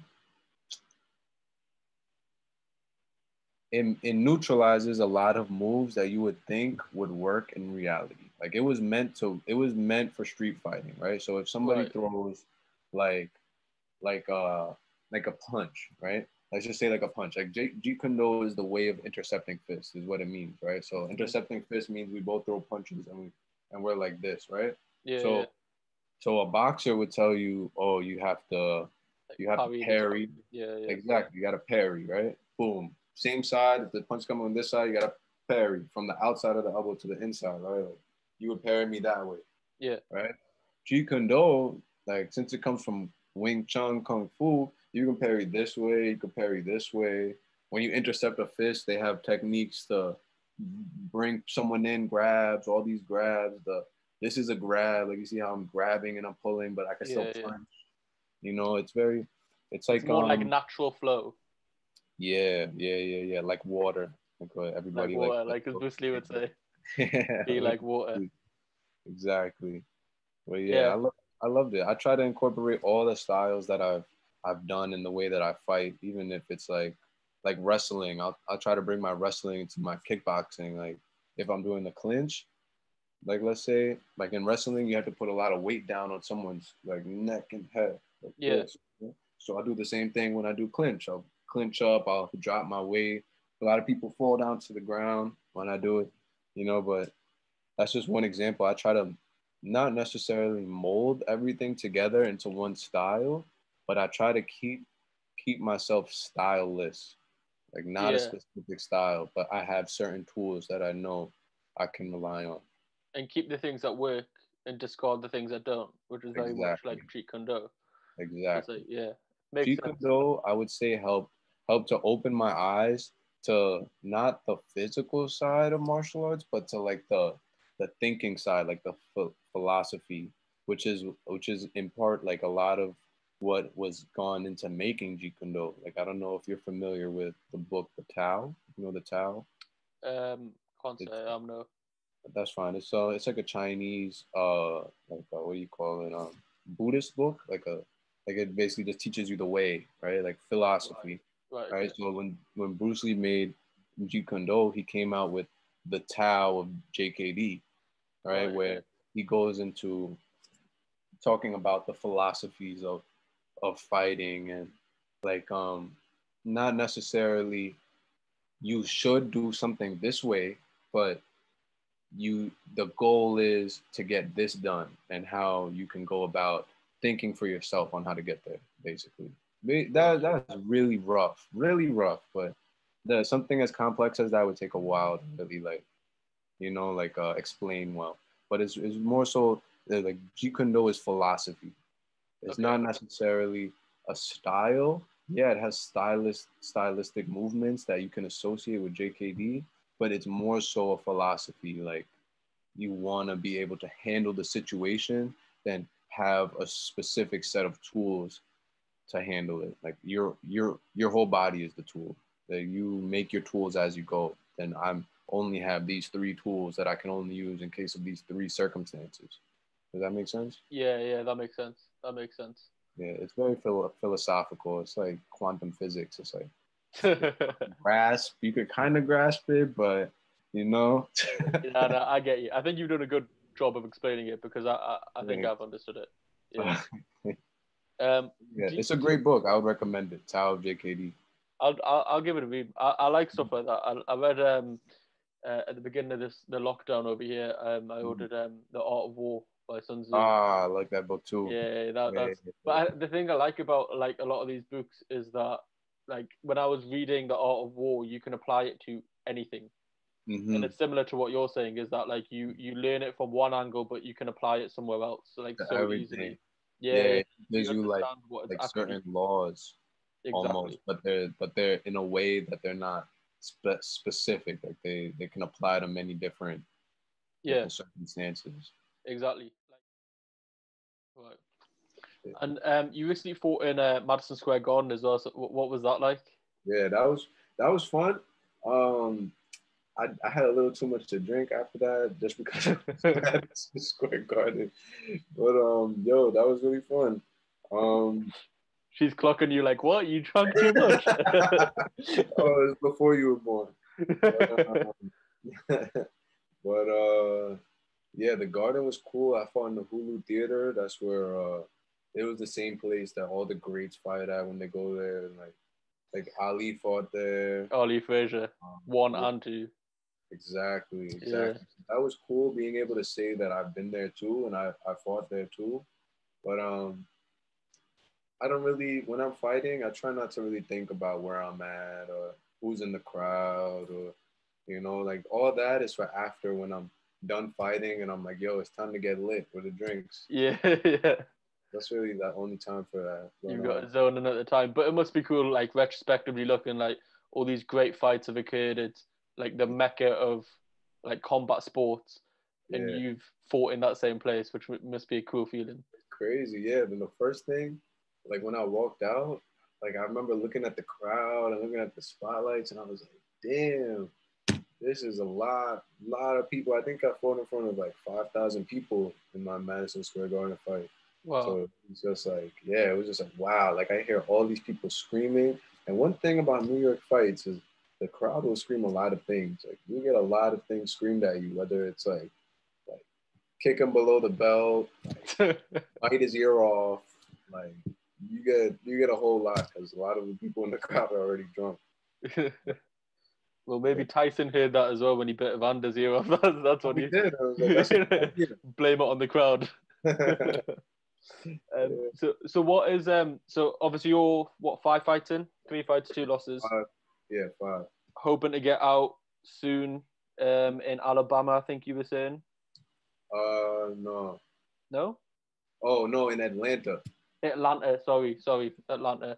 My bad. Is uh is that coming to like fruition? What what's going on with that? Yeah, we're getting ready. We're going to looking at fight camp. I think the I think we're looking at like four months from now.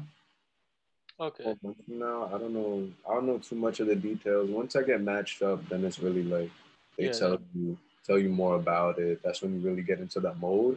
Mm-hmm. But right now, it's more so just getting more back into shape and you yeah. know like, uh, knocking off the ring rust. I think the last yeah the last time I fought was like 20 what is it 2020 now? Yeah, so 2018 was the last time I fought at the end of 2018. How come so long out? Obviously, this year being COVID, but what, what about yeah. last year? I was I was ready. I was well because my little my little girlfriend came, right? But but um yeah, so I just had to take a little break, you know, get home life right. Yeah. You know, make sure my baby good. But um yeah, so I'm trying to get back. I'm getting back. I'm just looking looking for a matchup right now. Just trying to get in the mindset once I get my person, then that's usually when the flip switch, because then it's like, yo, someone right now got your face in their mind, and they, they're thinking about punching your teeth out. You gotta think the same. yeah, so you gotta, you gotta. Right now, I might be playing some video games, but you gotta get up, get your butt up. It don't matter if it's twelve o'clock, one o'clock. You need to get up and go, go on the track, go, go do some push-ups, go do something while the commercials running. Like you know, like that's when yeah. it starts an animal instinct starts to come in or oh I gotta gotta mess someone up. Like I gotta I gotta see someone. Definitely. And then what what is the what is the goal? Is it like to make a the one championship or is it to be in K one or so the goal is I wanna I wanna be I wanna be recognized, I wanna be known, and I wanna be like I want people to be able to talk about me like like, damn, Harveer had that crazy style, or yo, Harveer was doing this, that, yo, he goes in the in the Hall of Fame because Harveer came through, man, unorthodox, and he did this, that, and third, and he he beat this person, beat that person. I'm not looking for a long time, but I'm looking for a good time because I like I like my teeth where they are. You know, I like yeah. to be able to, to jump. I like to be able to lift my baby up and move my head. You yeah, know, yeah. Definitely. Tired. This all right. Um, I, I did have a question. Would it be easier for you to transition from um, like the the style that you are now to boxing rather than uh, like an MMA like one championship just because of the um the depth of like the ground game because it's from when we were from before we spoke it sounded more like you were a stand-up fighter but then mm. obviously while we're speaking of like obviously you, you said you you know you're wrestling you've made people tap out you've done some jiu-jitsu and stuff mm. so then maybe obviously because you do have knowledge in that it's it would be easier to for you to go into um like like a promotion like one or or UFC yeah. but like in my mind beforehand would it be easier for a kickboxer to go into boxing for a career or into like the UFC for a career is what I had in my mind before. So that's a really good question. I feel like the majority of fighters are going to tell you that a kickboxer has no business being in a boxing match. Mm-hmm. But I, from my personal experience and just just not putting my limitations on myself, any limitations on myself, I find that boxing is a lot easier than kickboxing. But I also train boxing with pure boxers. So I'll go to the gym to go do just pure boxing, hit just boxing pad work with my coach or fight just boxers, all the boxers in the gym that are preparing for fights. Yeah. So that is something that I'm looking for as I'm also I'm also in works trying to get boxing fights in too. When you ask me that, I also like my goal really go pro in the I want to do the trifecta. I want to do boxing, kickboxing, and MMA. I want to do all three of those go pro, and then maybe it may just maybe the this is where a little bit of the limitation comes in is maybe even to go in jujitsu, and maybe even wrestling. But that's the maybe. That's I gotta. That's a lot. Now I'm putting a lot on my plate. Yeah. But, but if it's stand up, exactly. If I'm stand up, I can do all stand up things because yeah. I got my hands. If I can only use my hands, I would still rock someone with just my hands. If I got hands and feet, I'm even more of a problem. If it's hands, feet, ground, I'm even more of a problem. You know, you got. But then, if more- you have a wrestling background as well, like surely you can prevent people from taking you to the ground in a in an MMA setting, and then you can just do your stand up thing because that's your what what you're, you're best smart. at. You are very smart. Thank you. That's exactly that's exactly the goal is to train the wrestling so that way no one could take me down and I can just head kick everybody all day. Yeah, and to be yeah. fair, that seems to be the most exciting um, style that ends up being popular in yeah. like in MMA as well. That's like, just that's an unfortunate style too because now you have to now you put yourself in more risk. It's not unfortunate; it's a give or take. It really is how crazy you are, but it's, it's more risk associated with that style. Like, yeah, like real when he gets tagged up, like when he fought Kelvin Gastelum, he he was swollen because he fights a lot with his hands down. Yeah, yeah. You know, that's the drawback. But it's live by the sword, die by the sword. Yeah, definitely. Because yeah. I, I had the similar sort of um like logic in my mind that surely if you're a kickboxer, um, it would be easier to become a boxer lucratively than go into MMA simply just because like the amount of groundwork there is, the like amount of different sort of ground styles there are, yeah. it would be just so much to learn compared to if you're already a kickboxer, you've sort of got half of the boxing style down. Do you know what I mean? You just got to get get used to not throwing your kicks essentially. That, that's a misconception though. That that is the reason why people will tell kickboxers that they have no business being with boxers because right. the kickboxing style, especially Muay Thai, is a lot of hands up like this, both hands up, yeah, keep yeah. stomping, you're doing the march, you know, and boxers, if you look at a boxer, they have very wide, lengthy stances. Mm-hmm. A lot of them will put their shoulder in front. Yeah, you know, yeah. the styles are different. But I feel like if you look at it the right way, as in back to what we were saying about Do and how you need you need to be able to deal with the problems as they come to you, as opposed to, oh, here's my trusty dusty tool that I always pull out in times of in times of uncertainty, you know, because you'll get a lot farther if you know how to deal with problems as they come to you than only be ready for specific certain problems.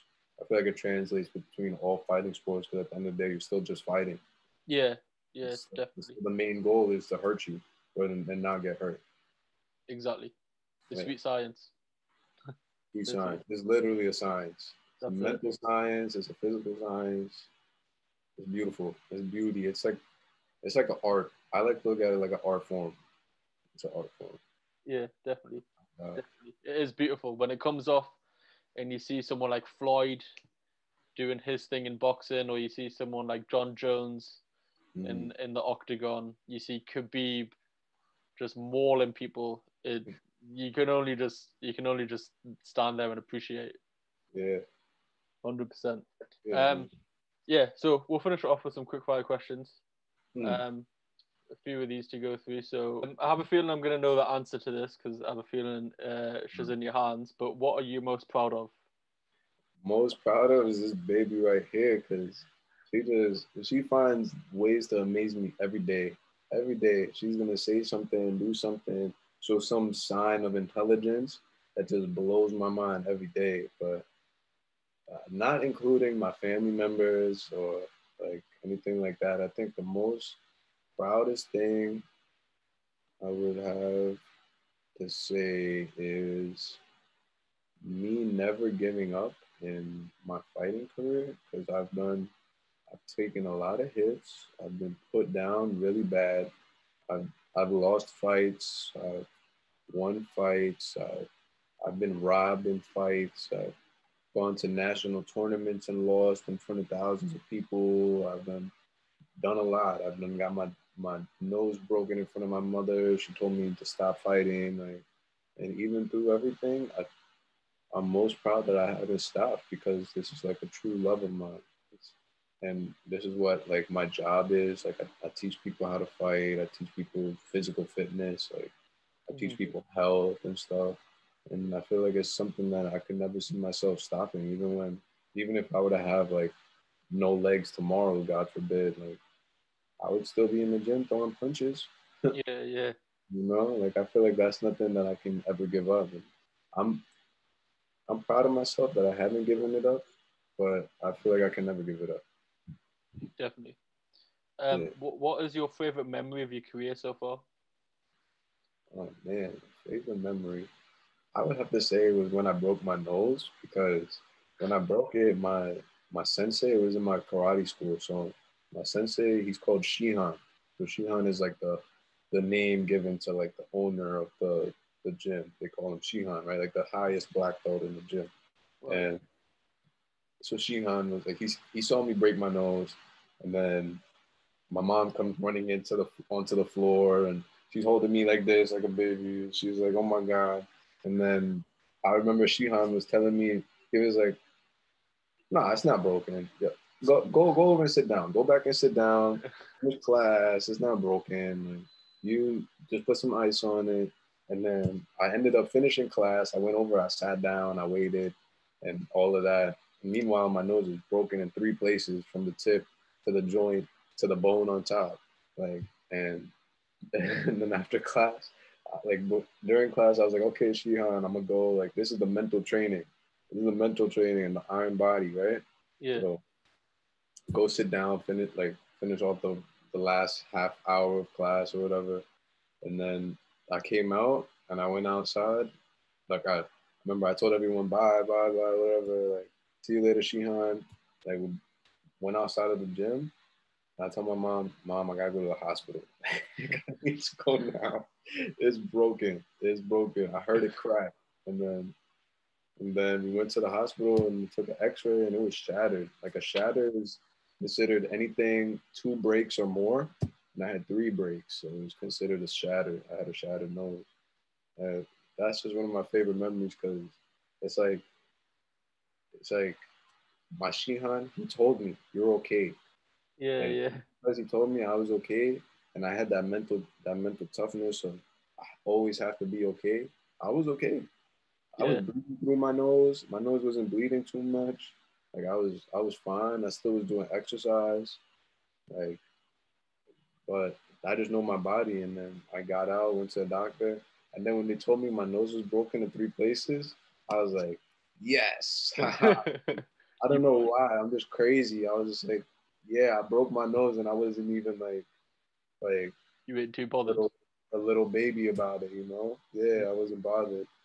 That, yeah, that was my favorite in my career. What are you most looking forward to? I would say I would say grabbing a belt and putting a holding a belt. You know, that's like a stereotypical answer. Like, yeah, that's that interests me. But what I'm really looking most forward to is is not the praise, but but when when the acknowledgement. Because I put a lot of hard work into what I do, and I like when I'm acknowledged for it. Yeah. I like when when like the knockout video that you had that that you were talking about earlier, like in my fight in the garden, which happened before that, mm-hmm. I remember I kicked my opponent maybe like three, four times in the head. And the whole time I was like, why isn't he why isn't he hitting the deck? Why isn't he getting knocked out? Like I was so frustrated. Like yeah. he needs to be knocked out. I kick, I'm kicking him with my leg in his face, and he's not doing anything. Right. And then I remember after that fight, I drilled the head kick with my left leg over and over, oh, hundreds, thousands of times. Drill, drill, drill. Hit with the shin. Before, when I was in the garden, I only hit with the foot. Hit with the shin. Hit with the shin. Hit with the shin. Keep going. Hit, hit the shin. Hit the shin. I must have hit the bag so many times. My shin bleed. My, yeah. my shin bleed from hitting the bag so much. The skin comes off. And then went into that fight. Mm-hmm. It just came out. I didn't even tell myself to throw the kick. It was just all instinct. Yeah. Just flowed out, flowed out, through the kick, hit him right with the shin. It wasn't a hard kick. It literally just because I hit with the shin is why it was so devastating. If I had hit him with the foot, he probably would have shook, shook it off like the last guy. But because I hit him with the shin, uh, that was what you saw in the video. It just played out the way it did. Yeah. But that one, that one really had me hyped because I, I remember, I remember hours. I would sit down and throw the same head kick for hours, hours, hours on end, four or five hours just in front of the same bag. And then when I got that head kick, it was like, yeah, like I feel good, yeah, because I got the knockout, but because I've trained that shit so hard, so long. And like, I don't know if you saw in my video, in like the full video, I threw my mouthpiece out the ground. I'm like roaring like a lion. I'm like, ah. Like, looking back, I wish I didn't do that, but I know that I did that because I trained that one head kick so trained it so many times, thousands of times, that when I landed it, it was like, it was like, yo, like I did it. Like I finally did it. Like I, I trained this one head kick, and last time I didn't knock him out with it, but this time because I trained it so hard, I knocked him out cold, and they actually had to they had to that, that dude didn't get back up from that shot. They had to take him to the hospital, roll him onto a stretcher, stretch him to the ambulance, take him from the ambulance. He didn't wake up till he got to the hospital. He stayed asleep the whole time. Lost three teeth, broke his jaw, all that. I'm not proud of that, but but your hard work paid off. Yeah, my hard work definitely paid off. Like that that was just testament to I really hit him with my shin, which I trained so hard and so long for to do. Yeah. yeah. Um, next one is what is your biggest motivation? Motivation, I would feel like it's myself because I know where my flaws lie and I know what I need to work on. And I know that I'm my biggest enemy. It's myself. And that that's with anybody. You're your own biggest enemy. You put limitations on yourself. Like, oh, I don't think I can do this or I can't do this because I have bad knees, or I can't do this because pop, pop my shoulder, or when I was younger, this happened to me, and you know, so on and so forth. So I feel like when I, like again with the head kick, I was my biggest motivation. I knew that my head kick was weak. Like, yeah. how you, like, it's embarrassing when you kick someone in the head flush four times and they don't knock out. Like, that maybe it's not embarrassing to the average person, but to me, that's embarrassing. It's like, like yeah. I took that back and I was like, yo, what? Like, what's wrong with me? Like, damn, I didn't know I was that weak. I didn't know my head kick wasn't that good. So, like, I, I went back, I trained it because I know that I know my own potential and I know what's holding me back. And I, I conquered that hill, conquered that mountain. And then, like, you know, that's just a testament that anything can happen. And if you look at the dude I knocked out, that was the 180 pound, he was a bodybuilder. His muscles, like, put my muscles to shame.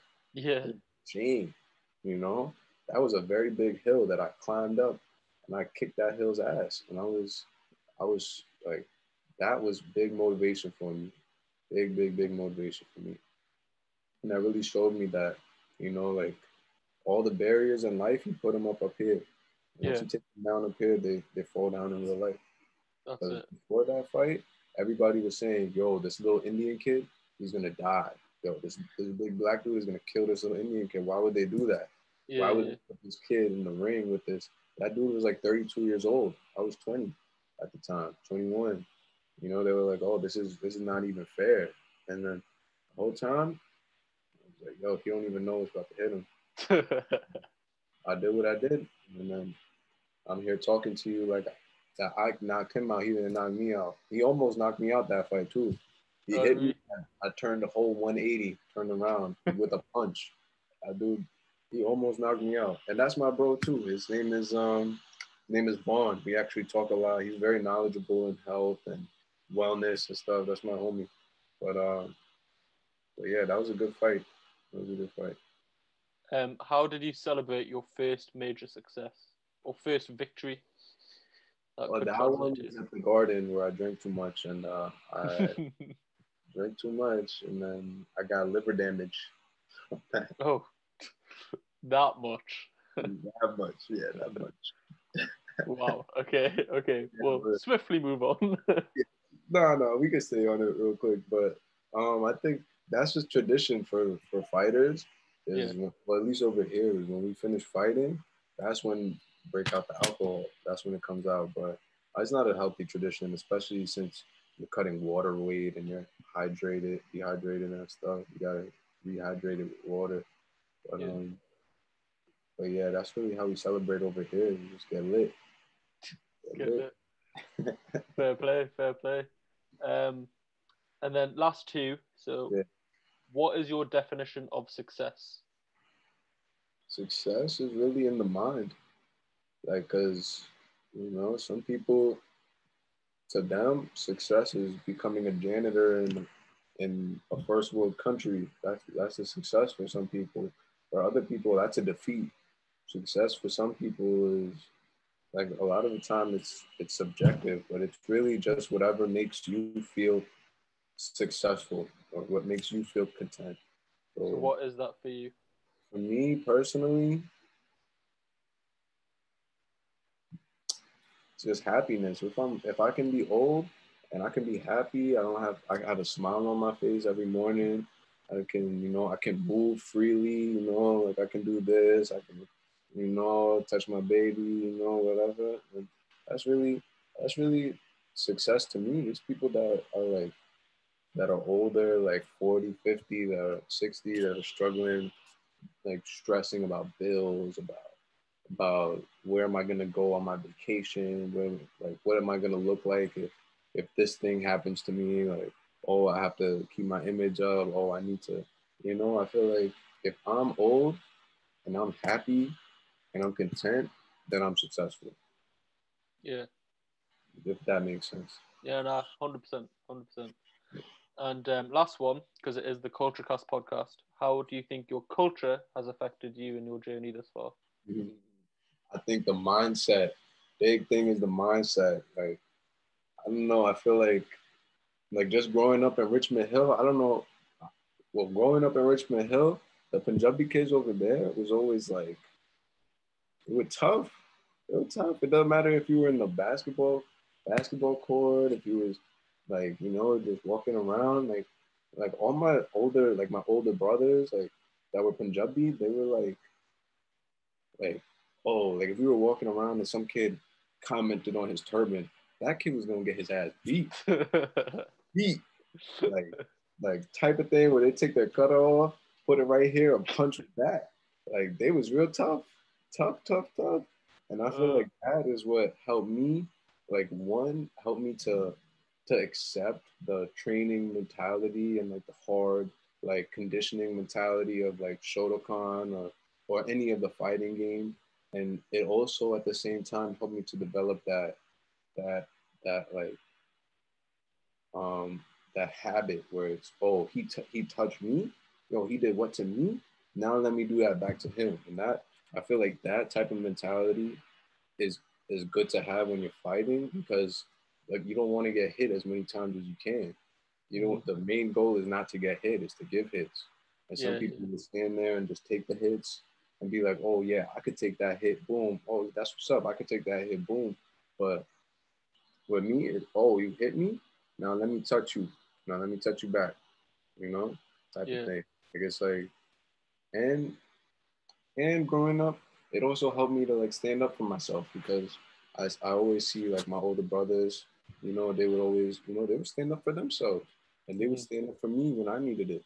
So growing up, I, I always try to stand up for my friends when they needed it, stand up for myself when I know I, like I need to stand up for myself, and not necessarily like go around beating people up, but or like the first person that looks at me crazy beat them up. But you know, like whenever the time calls for it, you know, a lot of times, like you need to stand up for yourself.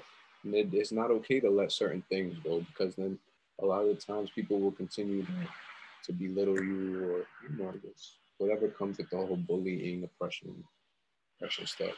And I um like I'm very grateful that I grew up in the area that I did because with uh, surrounded by all the culture of of Sikh Sikhism and like Punjabi people like growing up telling me, yo, back in the pen, on the farm, we used to do this, like going there and seeing that that type of thing like that that's a real motivation for me is like where your ancestors come like mm-hmm.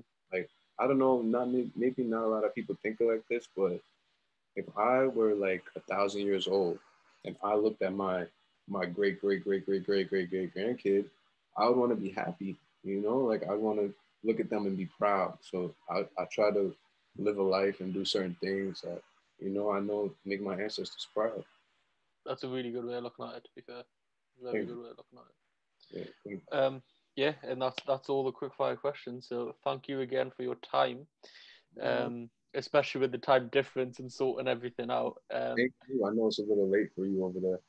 No, no, it's cool. It's cool. It's it's touching. Uh, it's like quarter past eleven, so not too bad. All not right. too bad. Um, yeah, I'm gonna have all your socials and stuff um on screen and in the links in uh, description. Mainly Instagram. You said you use. Mm-hmm. Yeah, man. Pass the juice you, with two underscores at the end. Yeah, I can send you my Facebook. Um, if you want, I send you the LinkedIn. Yeah, I can send you that stuff or whatever you want me to send you. I just don't use Twitter really. Yeah, sweet. Um, yeah, I'll grab all of that after this, and we'll put all the links in the description. And um, yeah, wicked. Right. Cool. Sweet. So I'm gonna show my baby. I know one day she's gonna be looking at this oh, you fall asleep on your dad. Oh my gosh, so cute.